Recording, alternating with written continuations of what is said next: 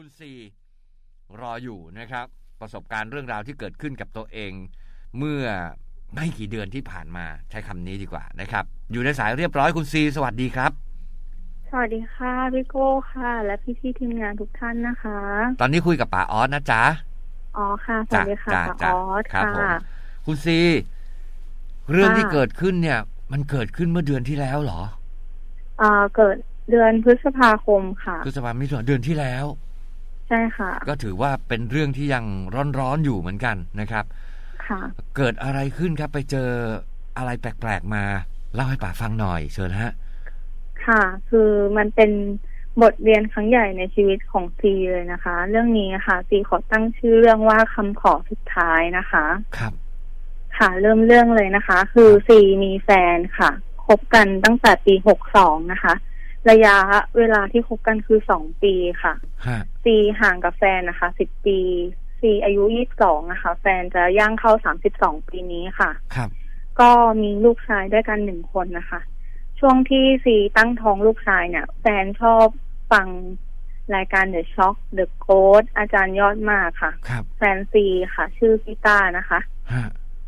ค่ะ เขาชอบฟังเกี่ยวกับผีทุกวันทุกคืนนะคะ จนซีบ่นแฟนตลอด แล้วฟ้องแม่แฟนทุกวันนะคะ ว่า เนี่ย ชอบฟังรายการผีอะค่ะจนแบบซีนอนหลับแล้วผวาทุกคืนนะคะ ครับ ก็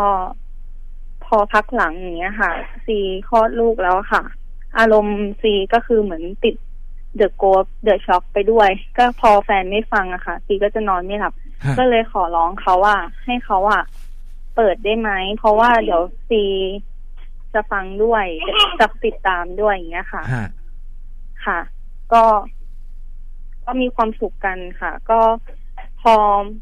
พักหลังๆอะค่ะ หนูกับแฟนก็เริ่มมาทะเลาะกันบ่อยๆ ทะเลาะกันบ่อยเข้าอย่างเงี้ยค่ะ ก็เริ่มหนักขึ้น หนูก็เลยขอเลิกแฟนค่ะ แล้วก็แยกกันอยู่ พอหนูขอเลิกแล้วก็กลับมาอยู่บ้านนะคะ ตั้งท้องลูกคนที่สองเป็นลูกสาวอะค่ะ ครับ ลูกหนูก็หัวปีท้ายปีนะคะ ฮะก็ขอกลับมาอยู่บ้าน แล้วช่วงนั้นก็คือหนูเหม็นแฟนแล้วไม่อยากอยู่ใกล้ ก็เลยแยกกันมาอยู่ตอนช่วงมกราคมปีหกสี่เนี้ยค่ะ ครับ ค่ะแล้วก็ไม่ได้ติดต่อกันเลย ช่วงมีนาคมคือหนูก็ไปทำงานขนส่ง เป็นสำนักงานใหญ่อยู่เอกชัยค่ะ ฮะ พอสิ้นเดือนมีนาค่ะ แฟนก็อยู่ๆก็กลับมาง้อ แต่ ช่วงที่เขาง้อคือเขาไม่ได้อยู่กรุงเทพนะคะ เขาอยู่ต่างจังหวัดครับเขาบอกเขาไม่อยากอยู่แล้ว เขาคิดสั้น ถ้าอยู่บ้านตัวเองอะ่ะเขาหลับตาเขาจะเห็นแต่หน้าหนู เขาห่วงหนูกับลูกในท้องมาก เขาขอว่ากลับมาคบกันได้ไหม กลับมาเริ่มต้นกันใหม่ได้ไหมฮะค่ะ เขาจะเปลี่ยนตัวเอง พอกลับมาคบกัน เขาก็มาอยู่บ้านหนูค่ะ เขาก็มาสมัครงานที่ห้างแห่งหนึ่งย่านกาลปะพฤกษ์ครับ พอจะได้ พอจะได้ทำงานแล้วไปกลับพร้อมกันนะคะฮะวันที่17พฤษภาคมที่ผ่านมาเนี่ยค่ะเขากับหนูก็แยกกันขับรถไปคนละคัน เพราะว่าแฟนเข้างานตีห้าหนูเข้างานเที่ยงครึ่งค่ะ ก็คุยกันดีปกติแฟนเลิกงานบ่ายสามเขาก็มาหาที่ทำงานหนู ก็มากอดจับท้องหอมบอกรักกันอยู่หน้าที่ทำงานหนูอะค่ะฮะบอกแล้วเขาก็บอกกับหนูว่า เดี๋ยวพี่ต้องไปทำ ระบบต่อ ยังไม่ได้กลับบ้านนะ ก็คือเลิกงานแล้วบ่ายสามแต่ก็จะไปทำไปเรียนระบบต่อฮะเพื่อจะมีเงินเพิ่ม ไว้ให้หนูกับลูกครับๆแล้วเขาก็ไปค่ะ ก็ไม่ได้คุยกันเลย ติดต่อกันมาอีกทีคือทุ่มหนึ่งหนูก็ถามเขาว่าอยู่ไหนไม่เห็นทักมาเลยฮะเขาบอกว่าเขาทักมาแล้ว แต่ว่าหนูอะไม่ได้อ่านฮะคือเขาทักเฟซมาค่ะ แต่ว่า คือหนูออนเล่นเล่นโทรศัพท์ไม่ได้ออนในไลน์ในคอมไว้อะค่ะ ที่ทำงานครับ ค่ะ แล้วทีนี้ก็ทะเลาะกันเรื่องไม่เป็นเรื่องอะค่ะ ก็ทะเลาะกันแค่ว่าหนูระแวงว่าเขาจะไปกินเหล้าไปนั่งที่ไหนไหมเพราะว่าเวลาเขาเมาอะเขาคุมอารมณ์ไม่อยู่เขาชอบมาทะเลาะกับหนูไงฮะฮะหนูก็เลยระแวงก็เลยงอนเขาอะค่ะ ทะเลาะกับเขาไป จนที่ทำงานก็เลยเห็นว่าหนักขึ้นเขาก็เลยโทรเรียกตำรวจอะค่ะ มาระงับเหตุตำรวจก็เลยเชิญตัวหนูกับแฟนอะไปที่โรงพักฮะพอไปคุยกันที่โรงพักเขาก็บอกเขาขอให้หยุดเรื่องการทะเลาะกันที่สาธารณะได้ไหมคือ มันเป็นที่สาธารณะอย่าทำแบบนี้เขาก็ไม่ได้เอาเรื่องอะไรฮะพอสามทุ่มครึ่งก็คือหนูก็กลับมาที่ทำงานเพื่อจะถ่ายรูปออกจากงานนะคะฮะเขาก็ยังตามมาอยู่ แล้วเพื่อนที่ทำงานหนูก็เลยเดินไปบอกว่า ให้พี่ต้ากลับไปก่อน เดี๋ยว ตีอะเขาจะดูแลเองไม่ต้องห่วงแฟนหนูก็เลยยอมแยกขับรถออกไปเลย แล้วก็ไม่ได้ติดต่อกันกับหนูเลยค่ะฮะส่วนหนูพอเลิกงานสามทุ่มครึ่งก็เลยไปห้องผู้จัดการต่อ เพื่อไปขอโทษเขาอะพอเขาดูกล้องนะคะกลัวจะได้ใบเตือนแล้วหนูท้องแล้วงานมันหายาก หนูก็เลยยังไม่อยากออกจากงาน ก็เลยต้องไปคุยกับผู้จัดการที่ห้อง แล้วผู้จัดการเป็นผู้หญิงนะคะครับไปกับพี่ที่ทำงานด้วยค่ะ ก็ไปด้วยกัน ส่วนแฟนอะ ก็ไม่ได้ติดต่อมา แต่ว่าช่วงสี่ทุ่มครึ่งอะเขาก็ทักมาค่ะแต่ทักมาโทรมาคือเขาด่า ด่าหนูแรงหนูก็เลยไม่คุยกับเขาเพราะหนูก็โกรธที่เขามาทะเลาะกับหนูฮะในที่ทำงานนะคะ จนห้าทุ่มยี่สิบเขาโทรเฟซมาบอกว่า จะออกมาได้หรือยังเนี่ยเขาอยู่หน้าบ้านหนูฮะให้รีบรีบกลับได้ไหมอะไรเงี้ยค่ะ อารมณ์เย็นแล้วฮะหนูก็โอเค เดี๋ยวกำลังขับรถกลับ เขาบอกว่าอยู่ไหนเขาถามหนูหนูก็บอกกวนๆไปค่ะว่า อยู่ไหนก็ได้โตแล้วฮะแล้วก็วางสายไป พอถึงบ้านเที่ยงคืนสิบกว่าค่ะ หนูก็อาบน้ำพ่อแม่หนูก็ถามว่าอ้าวแล้วต้าไปไหนไม่กลับมาพร้อมกันเขาบอกหนูก็บอกกับพ่อแม่ว่า เขาบอกกับหนูว่าเขาอยู่หน้าบ้าน แต่ไม่กล้าเข้าบ้านรอหนูกลับมาถึงก็ไม่เห็นรถ หนูก็เลยงอนแฟนนะคะฮะก็เลยเดินขึ้นห้อง ก็รอจะนอนพร้อมเขาเนี่ยค่ะ แต่คือเขาก็ เขาก็ทักมาว่าเนี่ยได้ซีรถชน ทักมาตอนเที่ยงคืนยี่สามฮะพยายามโทรทั้งคอทั้งสายปกติมา เขาก็ถ่ายรูปมา หนูก็เห็นว่าไม่ได้เป็นอะไรเลย รถก็ไม่ได้เป็นอะไรฮะค่ะ จนเที่ยงคืนยี่หกอะค่ะ หนูเขาก็พยายามโทรมา หนูก็เลยบล็อกทั้งเบอร์ ทั้งเฟซทั้งไลน์บล็อกทุกอย่างอะค่ะฮะก็เลยนอนหลับไป พอหนูนอนหลับไปสักพักอะค่ะ หนูก็ฝันว่าหนูตกหลุม หนูเลยสะดุ้งลุกขึ้นมาค่ะ ดูโทรศัพท์ว่าเนี่ยกี่โมงแล้ว เป็นเวลาตีสี่ซึ่งแฟนไม่มาหาที่บ้านเลยยิ่งงอนฮะลึกๆก็คือหนูก็ยังอยากรู้ว่าเขาอยู่ไหน ก็เลยปลดบล็อกเฟซเขาแต่ดูอะไรเขาไม่ได้ เพราะว่าหนูลบเพื่อนเขาไปค่ะฮะดูแชทเฟซส่วนตัวของหนูก็มีคนโทรมาหาฮะเลยโทรกลับไปอะค่ะ เป็นเพื่อนแฟนเขาบอกว่าพี่ต้าไปแล้วนะว้าย ค่ะ หนูก็ตกใจค่ะ ว่าพี่ต้าไปไหน หนูก็ถามเขาเขาบอกว่าพี่ต้าเสียแล้วนะโอ้บอกว่าซีเพิ่งรู้เหรอ เขาก็ถามหนู เพราะว่ามันตีสี่หนูก็เพิ่งรู้อะค่ะ หนูก็ฝันร้ายเลยสะดุ้งตื่นขึ้นมา หนูเลยบอกว่าหนูหนูก็เลยสงสัยว่าเสียได้ไงเขาเพิ่งคุยกับหนูเองฮะค่ะ คือหนูคิดว่าหนูหลับไปแค่แบบเดียวได้ซ้ำอะค่ะ แล้วเขาก็บอกว่าเสียจริง ๆ นะอะไรอย่างเงี้ยเขาก็ส่งลิงก์ข่าว ข่าวที่แฟนขับรถชนมา ว่ามีคนโพสต์เฟซว่าเนี่ย มีคนตายอยู่ถนนสายหนึ่งฮะญาติใครมารับ เนี่ยมารับด้วยอะไรอย่างเงี้ยค่ะฮะซึ่งนั่นแหะแฟนหนูจริง ๆ แล้วรถรถเป็นรถแฟนหนู แล้วเป็นป้ายบัตรพนักงานที่เขาทำงานที่ห้างนั้นอะฮะจริงๆฮะค่ะ หนูก็ตกใจโทรหา เบอร์บ้านแฟนค่ะ พอโทรหาเบอร์บ้านแฟนเขาก็ยายรับสายแล้วเสียงสั่นก็บอกว่าตีต้าไปแล้วโอ้ยอืมซึ่งหนูก็ตกใจว่าไปได้ไง เขาก็บอกว่าเนี่ย พ่อเพิ่งกลับจากโรงพยาบาลไปรับศพต้ามาเพิ่งรู้เรื่องเหรอ เขาก็ถาม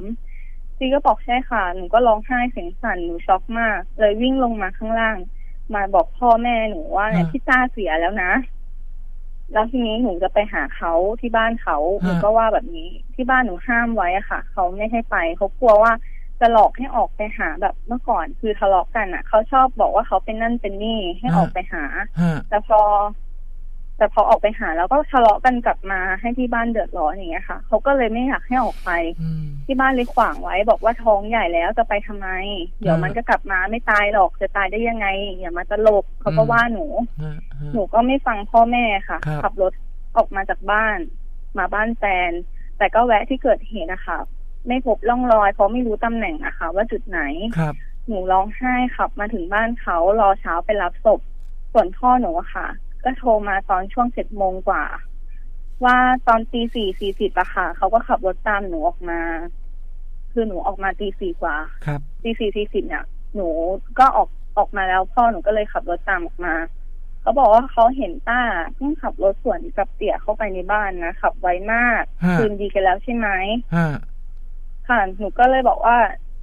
เตียพี่ต้าเขาเสียแล้ว เสียแล้วจริงฮะๆ พ่อเขาเพิ่งกลับจากโรงพยาบาลรับศพกันมา หนูก็ว่าอย่างนี้ฮะเตียบอกว่าก็เนี่ยเพิ่งขับรถสวนกับมันไปอะเขาก็ไม่เชื่อฮะเขาก็วางสายหนูเขาก็โกรธว่าหนู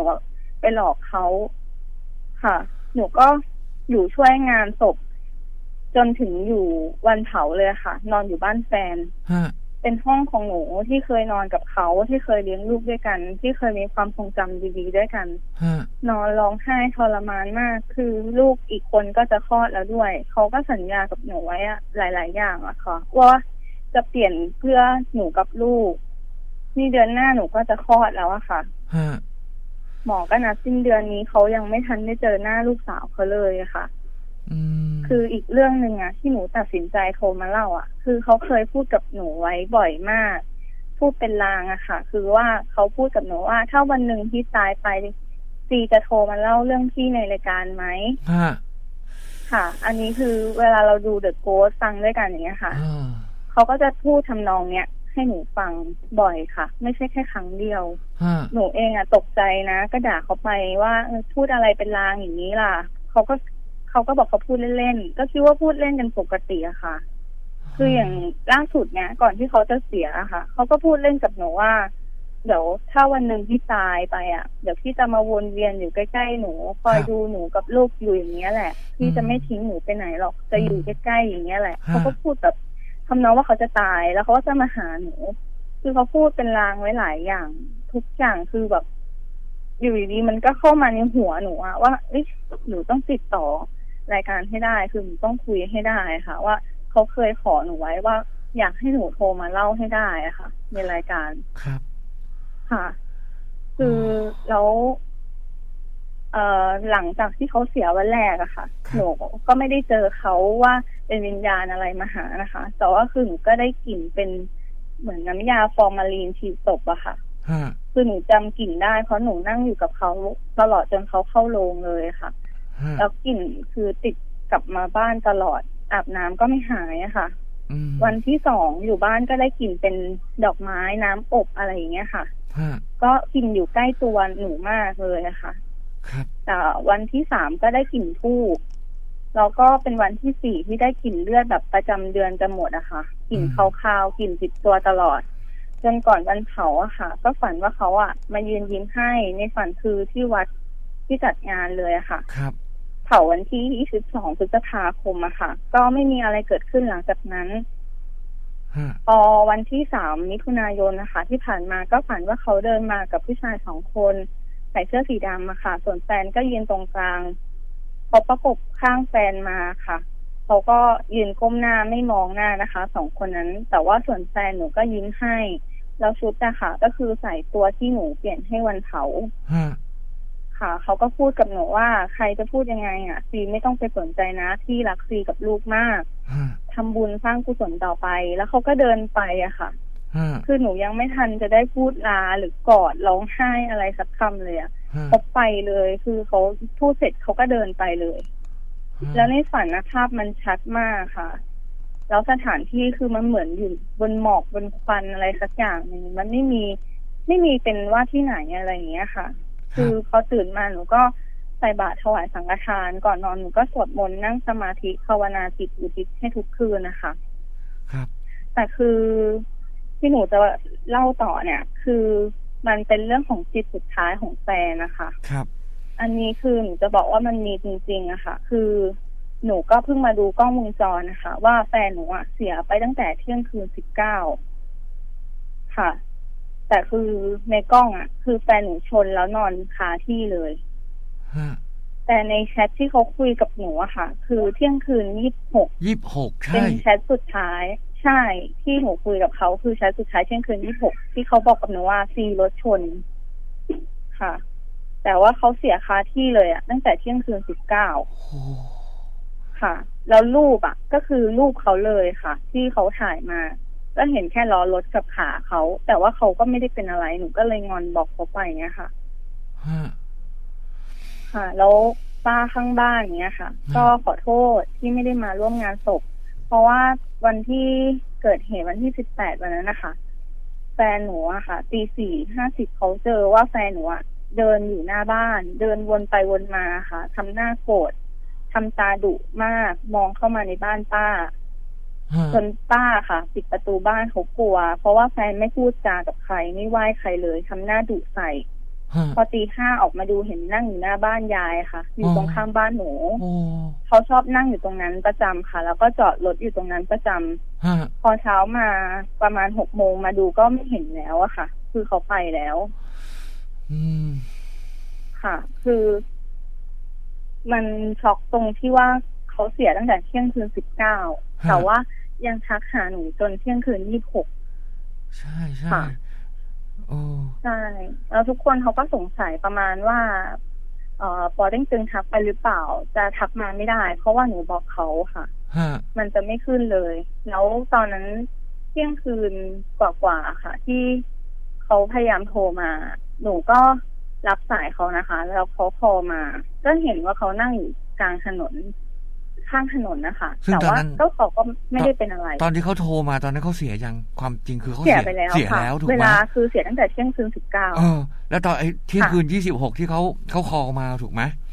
ใช่ค่ะ เป็นสายสุดท้ายที่พอมาปุ๊บก็เห็นว่าปกติคือถ่ายรูปมาก่อนว่ารถชนแล้วก็ฮะพอมาฮะก็ปกติคือไม่เป็นอะไรค่ะ นั่งอยู่ข้างถนนแล้วที่ตรงนั้นที่เขาถ่ายมาก็จุดที่เดียวกับเขาตายค่ะ โอ้โห ก็คือหนูก็ตกใจแล้วทุกคนก็มองว่าอาจจะเป็นจิตสุดท้ายของเขาอะค่ะใช่น่าที่แบจะบใช่ตั้งใจจะเข้ามาง้อหนูจะมาหาที่บ้านอย่างเงี้ยค่ะฮะแล้วทางที่เขาตายอะก็คือทางที่จะกลับมาบ้านหนูฮะค่ะ คืออีกนิดเดียวจะถึงบ้านหนูแล้วอะค่ะ อืมค่ะโอ้โหผม คือ คือคือคือเอ่อ แฟนของคุณซีบอกว่า ถ้าถ้าเขาไม่อยู่แล้วเนี่ย ใช่ค่ะ ให้ให้ให้โทรมาเล่าที่ที่เดอะช็อคด้วย ใช่ค่ะ คือเขาเพิ่งพูดกับหนูก่อนที่เขาจะเสียเองอะค่ะ คือคุยเล่นกันปกตินี่เป็นก็ไม่เหมือนคิดว่าฮะจะเป็นแบบเนี้ยค่ะ นี่เป็นเหมือนคำคำขอสุดท้ายของของแฟน ใช่ค่ะ อืม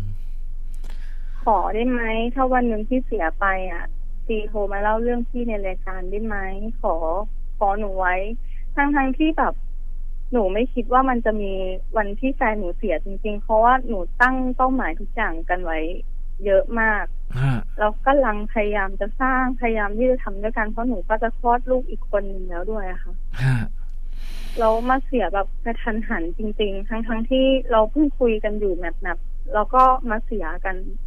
โดยที่แบบไม่ตั้งตัวเลยอะค่ะฮะค่ะโอ้หนูก็เป็นบทเรียนในชีวิตครั้งใหญ่จริง ๆอะค่ะฮะผมนึกนึกนึกนึกออก แต่สิ่งที่ที่ที่ที่เกิดขึ้นก็คือ คุณซีก็ต้องเข้มแข็งแล้วก็ดูแลเจ้าตัวเล็กที่กำลังจะคลอดเดือน เดือนนี้เดือนหน้าเนาะค่ะแล้วก็คนโต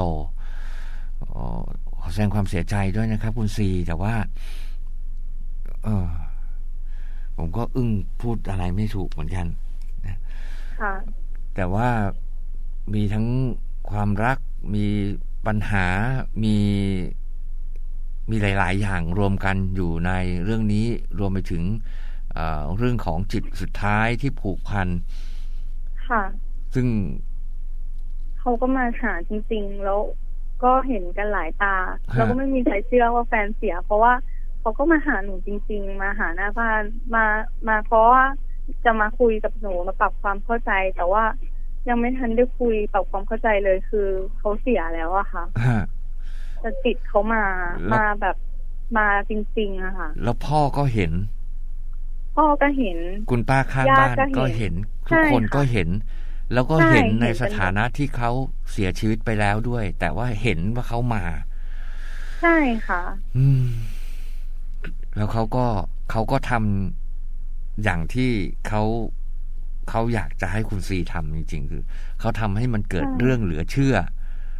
เขาทำค่ะให้เกิดความเชื่อว่าวิญญาณและจิตสุดท้ายนั้นมีจริง เพื่อให้ใช่คุณค่ะซีได้กลับมาเล่ากับป๋าในค่ำคืนนี้ ค่ะ อยากให้มาเล่า จิตเขาก็คงฟังอยู่ด้วยอะค่ะฮะ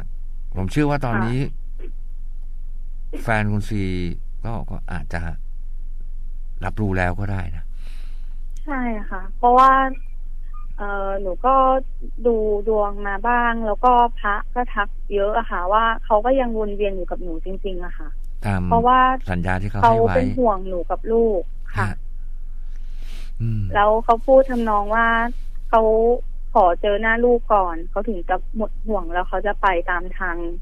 กรรมของเขา แต่ตอนเนี้ยเขาขอวนเวียนอยู่ใกล้ๆหนูก่อน เพราะเขาจะรอเจอหน้าลูกว่าจำหน้าเหมือนเขามากน้อย แค่ไหนอะค่ะอืมอันนี้คือพระที่เขาเห็นนะคะแล้วครับเขาสื่อจิตคุยให้อะค่ะ หนูก็พยายามติดต่อเขาทุกอย่าง แต่เขาก็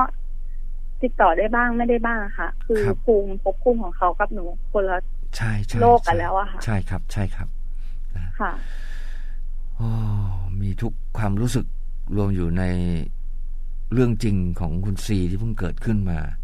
สดๆร้อนใช่ค่ะๆนะฮะเข้มแข็งนะครับ คุณซีครับ ค่ะนะครับ เข้มแข็งเป็นค่ะกำลังใจให้แฟนๆเดอะช็อคก็เป็นกำลังใจให้มีหลาย ๆ ข้อความเข้ามา ฝากเป็นกำลังใจให้ นะฮะแข็งแรงแข็งแรงเพื่อเจ้าตัวเล็กในท้องจะได้แข็งแรง แล้วออกมาค่ะให้คุณพ่อเห็นหน้าได้ชื่นใจ